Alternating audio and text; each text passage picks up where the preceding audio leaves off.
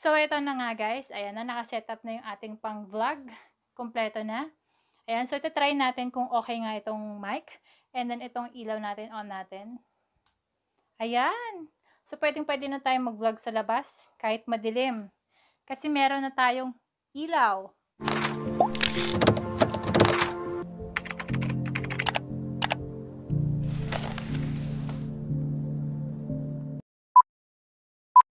kick.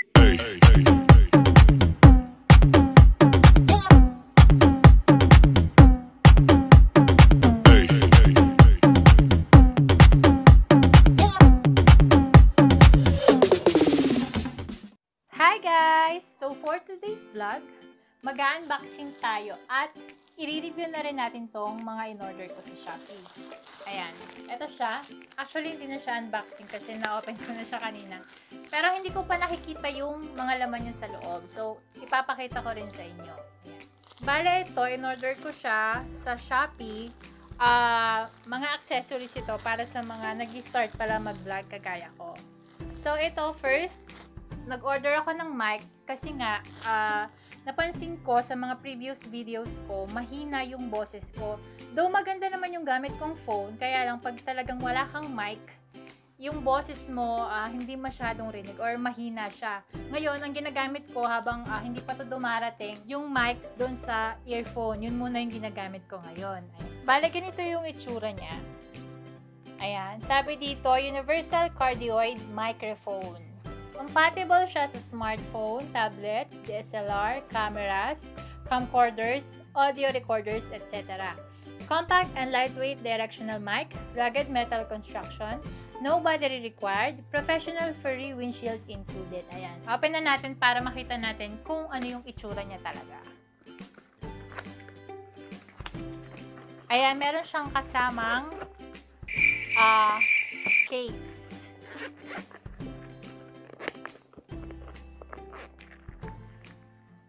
Ayan, ganyan yung laman niya sa loob. Merong cable dito. Ito yata yung pang-connect.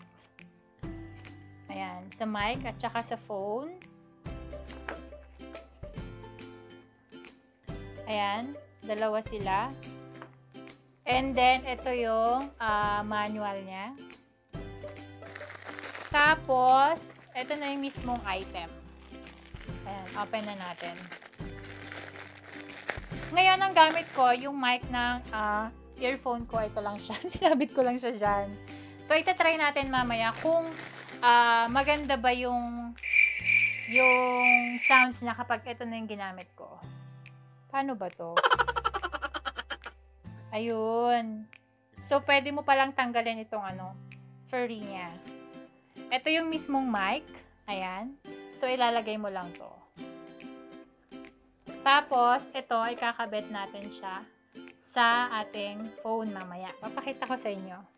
Nabili ko pala to ng ah, 852 pesos. Ayan, actually, mura-mura na siya kasi yung iba nakikita ko sa Shopee parang ah, 1.5, ganyan. So, medyo nakamura-mura na tayo dito. And then, ah, next item tayo. Ito, kumuha ako ng LED video light para kapag ah, nasa labas ako, pwede ko siyang ah, magamit anytime. So, maganda pa rin yung quality ng video natin, maliwanag. Kasi nga, hindi naman natin pwedeng dalhin yung malaking ring light sa labas. So, pang loob lang talaga siya ng bahay kapag nagvo-vlog ka. Ito naman, nabili ko siya ng ah, 335 pesos. Actually, lahat to naka-sale siya. Ayan, open na natin. Check natin kung gumagana ba. May kasama rin siyang manual. Tapos, ito siya.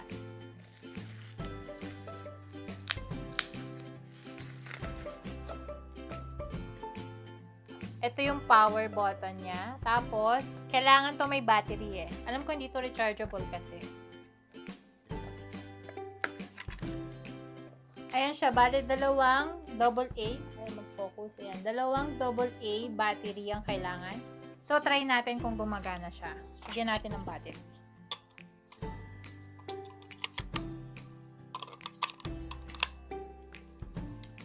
Ayan, ganyan siya. So, na-adjust yung ah, ilaw niya. Pwede mong lakasan, pwede mahina. Kakabit din natin to sa phone mamaya. So, next item na ulit tayo.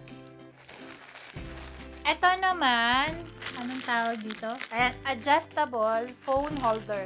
Meron na akong ganito, kaya lang, uh, umorder ako, parang uh, pang-extra ko lang siya. Buti na lang, umorder ako kasi nga, kanina nagsiset up ako, nasira, nasira yung ganito ko. So, ayan, saktong-sakto. Ganito siya. Maganda yung ganito kasi safe na safe yung camera mo. Ayan, set na siya for 123 pesos.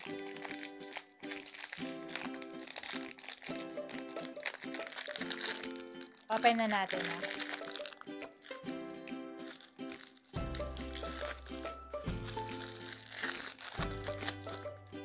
i-connect lang natin siya dito.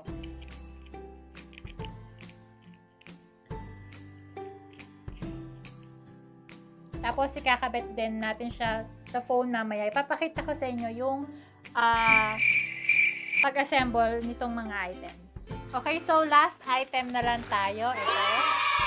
Uh, camera vlog, microphone, cold shoe mount. Ayan. Ito naman, nabili ko siya sa halagang magkano to? 307 pesos. So, di ba ganito lang pero 307 lang.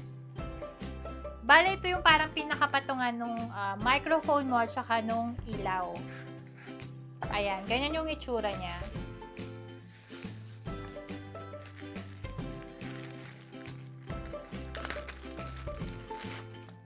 Ayan siya. So, dito natin lahat ilalagay yung mga items na binili natin mamaya. So, first, kailangan natin syempre ng tripod. Ito yung ginagamit kong tripod. And then, ikakabit natin dito yung cold shoe stand bracket. Ayan. So, kabit muna natin siya. Tama ba?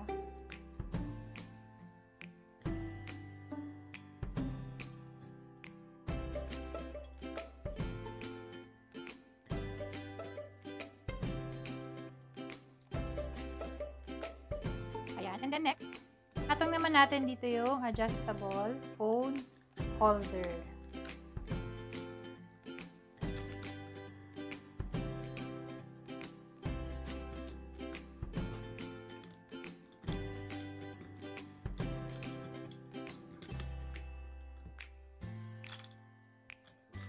Next, ilalagay naman natin dito itong ating microphone. Ayan, ganyan siya. Pasok lang natin and then lock lang natin.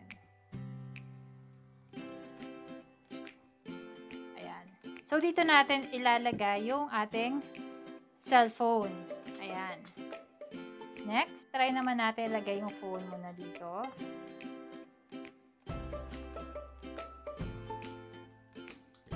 Yeah. Ayan. So, ayan. Naka-set up na tayo. So, i-connect na natin ito. Saan ba yun?